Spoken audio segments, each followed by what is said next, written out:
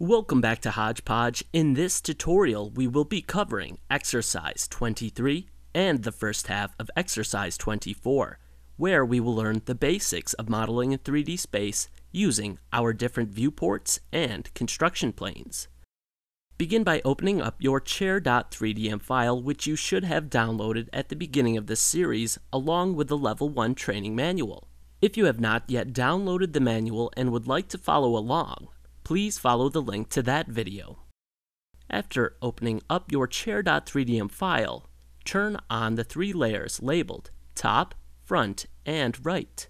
For more information on the layers panel, please follow the link to that video.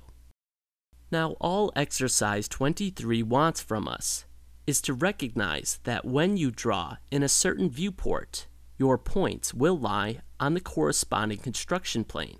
So it would be very easy for us to duplicate this chair by simply tracing it, starting in the top viewport for the base of our chair.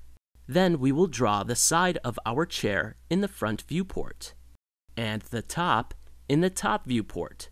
Pretty self-explanatory. To illustrate how easy the viewports make modeling, just look at all the options I'm given when I'm trying to model in the perspective viewport.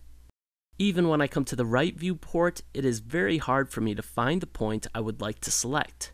Only when I come back into the front viewport will it be so easy for me to select the correct point. So just to reiterate, that is all exercise 23 is teaching us.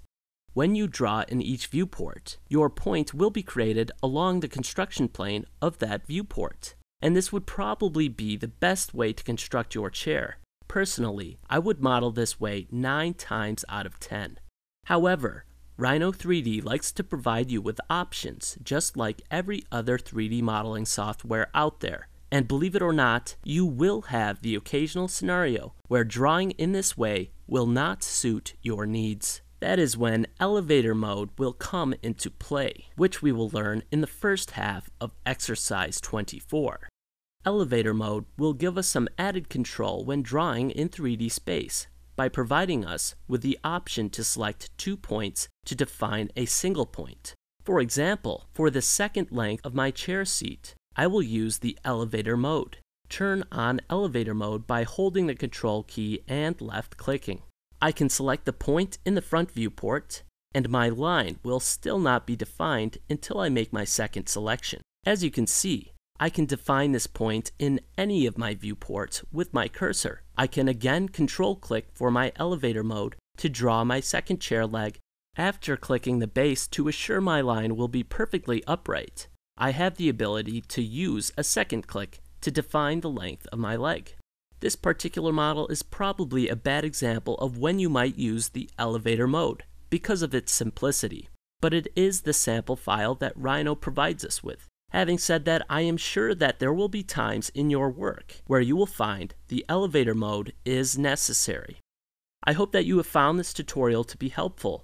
The next tutorial in this series will be a continuation of exercise 24 in its entirety. As always, thanks for watching. Please feel free to like this video, check out my other videos, and subscribe.